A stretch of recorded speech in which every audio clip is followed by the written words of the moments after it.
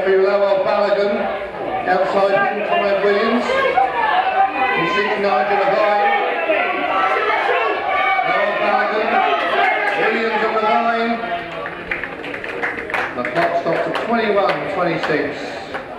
Final, final track event, is that final event of this.